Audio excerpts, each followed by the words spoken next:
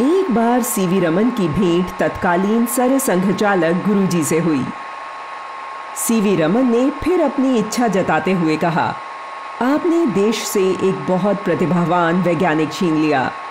तो गुरुजी ने कहा, देश में आपको बहुत वैज्ञानिक मिल जाएँगे, परंतु हमारे पास तो एक ही रज्जू है। वर्तमान में हिंदू और हिंदुत्व पर जोरदार बहस छिड़ी है। उन्नीस सौ बानवे तिरानवे में भी इसी विषय पर बहस छिड़ी थी। तब रज्जू भैया ने एक ब्रिटिश पत्रकार को ऐसा मज़ेदार उत्तर दिया कि वह हक्का बक्का रह गया। उन्नीस सौ तिरानवे में रज्जू भैया लंदन प्रवास पर थे। रज्जू भैया से पत्रकार ने पूछा, आप कुछ अलग प्रकार के हिंदू नज़र आते हैं तो क्या हम आपको आक्रामक हिंदू कह सकते हैं? रज्जू भैया ने सहज भाव से कहा हम ना तो दब्बू हिंदू हैं और न ही आक्रामक हिंदू। हम मुखर हिंदू हैं। क्योंकि हम अपने विचार का तर्क दूसरों के समक्ष रखते हैं और बड़ी दृढ़ता के साथ इन्हें प्रकट करते हैं। हम हिंदू होने पर शर्म महसूस नहीं करते। हमें हिंदू होने का गर्व है। 1975 में जब संपूर्ण देश पर आपातकाल का काला अध्याय थोप दिया गया और तत्कालीन सर संघ चालक बाला साहब देवरस को गिरफ़्तार कर लिया गया। तब रज्जू भैया ही थे, जिन्होंने गौरव छदम नाम से आपातकाल के समय देश भर में भ्रमण किया और जेलों में जाकर अलग अलग दल के नेताओं से संपर्क कर एक दल के रूप में एकजुट करने के प्रयास में जुटे रहे। परिणाम स्वरूप जनता पार्टी का गठन हुआ। वैसे तो रज्जू भैया बुलंदशहर के बनैल गाँव के निवासी थे, परंतु उनकी शिक्षा नैनीताल, रुड़की, उन्नाव और प्रयागराज में हुई। प्रयागराज में उनका संघ से परिचय हुआ। रज्जू भैया, जिनका पूरा नाम था डॉक्टर राजेंद्र कुमार। मेधावी राजेंद्र के सबसे बड़े प्रशंसक, भारत रत्न और भौतिकी के नोबल पुरस्कार विजेता सीवी रमन भी थे। सीवी रमन जब प्रैक्टिकल परीक्षा लेने प्रयागराज विश्वविद्यालय आए तो उनकी प्रतिभा के प्रशंसक हो गए।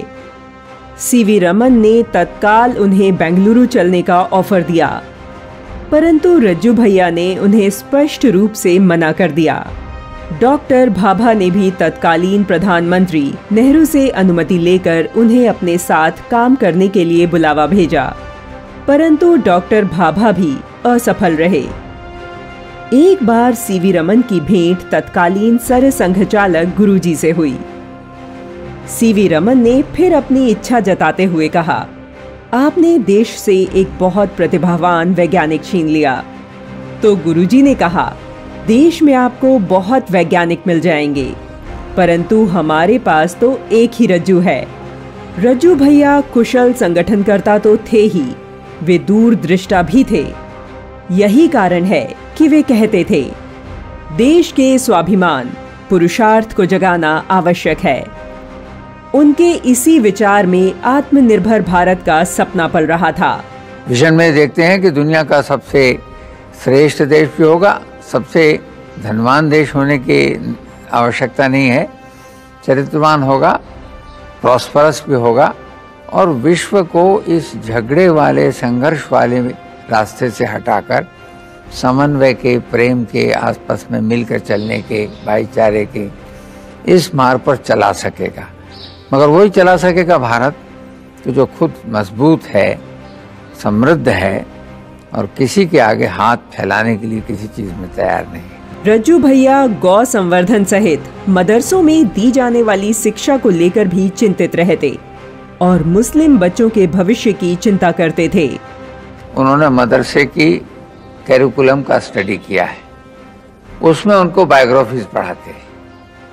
तो बायोग्राफीज में आपको सुनकर आश्चर्य होगा, सौ बायोग्राफीज पाँच साल में मदरसे में पढ़ाते हैं। उसमें केवल चार बायोग्राफीज हिंदुस्तान की है। और उनमें किसकी है? मौलाना आज़ाद, जाकिर हुसैन, महात्मा गांधी, जवाहरलाल। और बाकी हारून रशीद, सुलेमान उमर, हज़रत अली, सब तीन देशों से उनको बेचारों को कुछ मतलब ही नहीं है। और उनको विवेकानंद नहीं मालूम, उनको रामकृष्ण नहीं मालूम, उनको बंकिम चंद्र नहीं मालूम।